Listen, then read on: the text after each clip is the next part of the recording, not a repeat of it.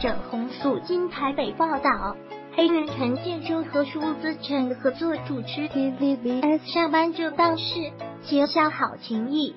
今两人为宣传节目邀请媒体前来参叙。事实上，黑人又来整人计划。黑人先是把假老鼠藏在披萨嘴里，一看到媒体记者们热情询问要吃什么口味，下秒掀开盒子，现场一阵惊叫。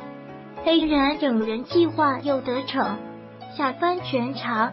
一旁共犯舒子晨则说：“记者如果生气，马上下跪求饶。”黑人聊起新搭档舒子晨是在育有加，舒子晨更是不时记录聊歌名句，一找到机会就去聊黑人。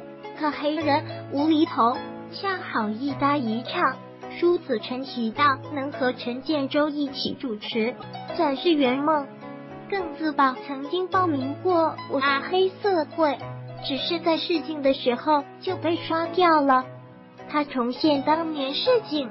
工作人员请他对住一台摄影机跳舞，说完人就出去了。